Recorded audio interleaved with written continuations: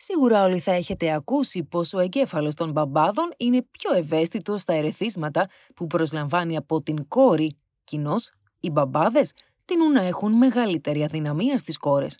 Γνωρίζουμε την αδυναμία του μπαμπά στην κόρη και την αγάπη της προς τον μπαμπά, όπως άλλωστε συμβαίνει με τη μάνα και το γιο. Σύμφωνα με την ψυχοσεξουαλική εξέλιξη, μιλάμε για το σύνδρομο της ηλέκτρας, το αντίστοιχο του ειδipόδιου που είναι το πιο γνωστό. Σύμφωνα λοιπόν με το σύνδρομο της ηλέκτρας, το κορίτσι ερωτεύεται τον μπαμπά του και θέλει να τον διεκδικήσει από την μητέρα. Πήρε το όνομά του από την μυθολογία όπου η ηλέκτρα είχε αδυναμία στον πατέρα της τον Αγαμέμνονα, τον οποίον δολοφόνησε η μητέρα της η Κλητεμνίστρα μαζί με τον εραστή της και η ηλέκτρα πήρε εκδίκηση ως τιμωρός.